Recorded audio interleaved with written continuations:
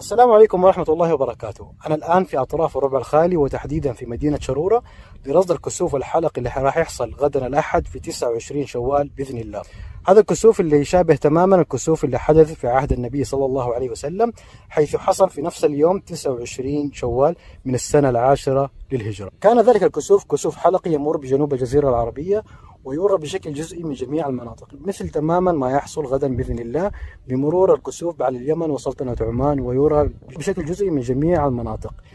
وأيضا نسبة الكسوف جدا متقاربه كان نسبة الكسوف في المدينة في عهد النبي صلى الله عليه وسلم 76% بينما غدا سوف يكون نسبة الكسوف 61% تقريبا في المدينة المنورة. اذا توقيت حدوث الكسوف مطابق لما حدث في عهد النبي صلى الله عليه وسلم حيث يبدا الكسوف تقريبا الساعة السابعة صباحا وينتهي تقريبا الساعة العاشرة صباحا.